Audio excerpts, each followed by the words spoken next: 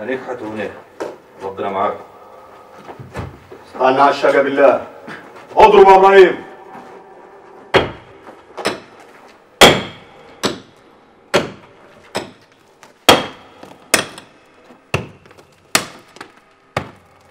وخر يا عبد الرحمن. فين يا إبراهيم؟ غلط. ومن هنا ورايح لازم نحارب الغلط في كل صوره. غلط إيه بس اللي أنتوا عمالين تتكلموا عنه ده؟ الغلط اللي أنا لمحت لك عنه أول ما نزلنا مصر يا رمان. قلت لك إن أنت وأهل الجبل كلهم مخدوعين في الست الخواجايه يا هدي. ست جودي؟ أيوه جودي. ده اسمها لوحده يقلق ويخوف. مظبوط كده صلاح. اسمها بيدل على اللي هي شغالة لحسابهم. اسم إيه وشغالة لحساب مين؟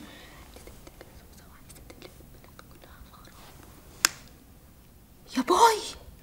رد فعل رمانة بيبين قد إيه الموضوع خطير. أنا سبق وقلت لكم إن 48 بقى تاريخ ما يتنسيش وهيفرق في كل اللي جاي.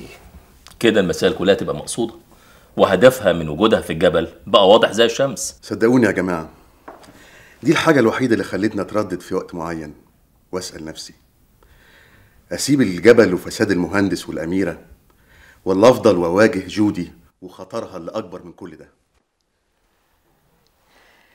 يا دي الخطر اللي ما بقتش أسمع غير عنه.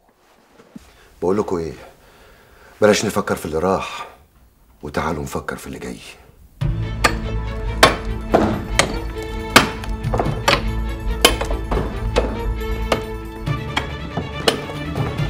وقف وقف يا زناتي وقف. روح بلغ العمدة يا حمدان. اوامرك يا حسين أروح أفرح العمدة يا رجال.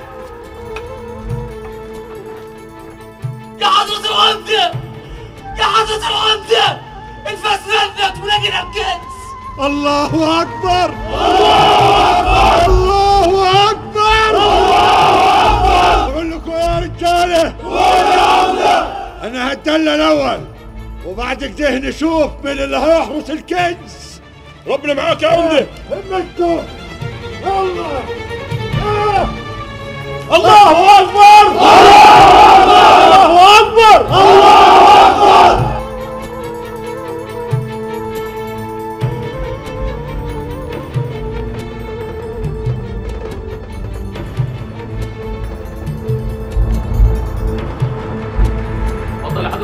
لقينا الكنز يا عمدة.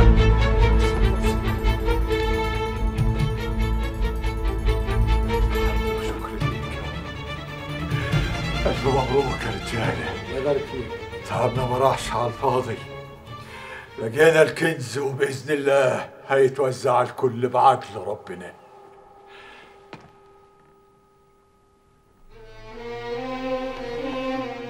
شد حيلك يا حسين. أنا عارف يا ولد أنت بتفكر في إيه. بدم مريم اللي سأل في السرداب. دمها الطاهر هو اللي فتح لنا الكنز والخير هيعوم مع الكل. ربنا أراد إن مريم تموت علشان أهل الجبل يعيشوا. ربنا عوضنا عنها خير يا ولدي. يلا يا رجالة. عايزكم تضربوا الحجر ضربة رجل واحد لحد ما يلين وبعد كده أدخل أنا وولدي حسين لوحدينا. سائلين في قلوبنا الحزن على الغالية. ودمها الطاهر اللي هيبقى واسطة بيننا وبين المساخين تعال يا حسين. يلا يا رجالة الهمة. توكلوا على الله. شد حيلكم. الله أكبر. يلا. الله أكبر.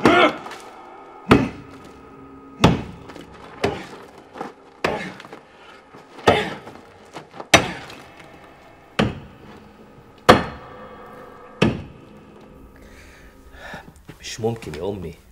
بعد كل اللي إحنا قلناه ده ما تكونيش يعني لسه فاهمة الخطر اللي بيهددنا. يا ابني أنا كل اللي يهمني إنك تكون بعيد عن التهديد ده. ما ينفعش يا أمي. أنا مش لوحدي في الدنيا دي. أنا مرتبط بكل اللي حواليا.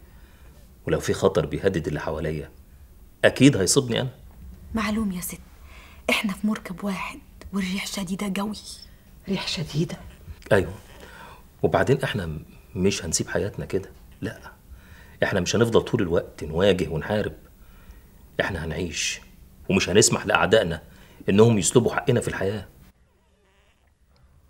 يا سلام. يا سلام على الكلام اللي يبرد الروح. بذمتك يا رمانة. انت فاهمة حاجة من اللي قاله ده؟ أيوه. وبقيت أحفظ كلامه صم كمان. على فكرة يا أمي أنا ورمانة هنكتب كتابنا يوم الخميس الجاي عشان نبقى جنبك وتحت عينيكي. جنبي وتحت عينيا؟ انت بتضحك على مين يا واد أنت؟ هو أنا مش عارفاك. أنت أما بتطلع في دماغك حاجة بتعمل اللي وتنفذها سواء كان قدام عيني ولا في ميت عين مع عيني. يعني أنت تقبلي يا أمي إن الصهاينة بعد 48 يجوا ياخدوا كنوزنا وتاريخنا وتاريخ أجدادنا. لا ما أقبلش. هو ده الكلام. عشان كده لازم نلاقوا حل.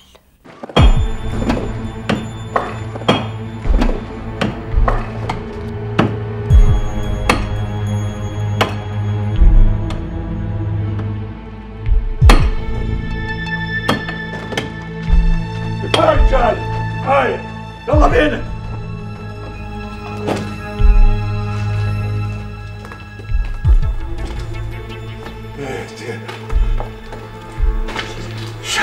حسين شايف يا ولدي؟ حسين!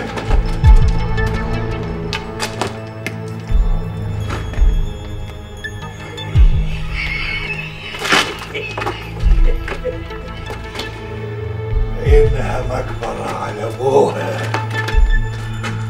صح يا عم المقبرة دي محدش دخلها قبل كده.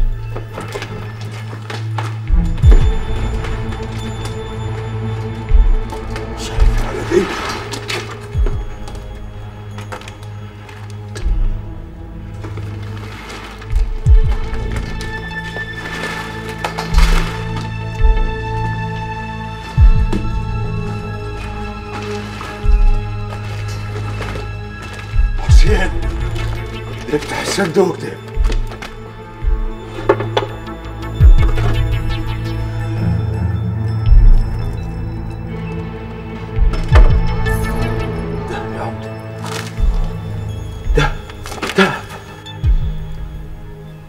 دفعنا ثمنه من دمنا يا ولدي.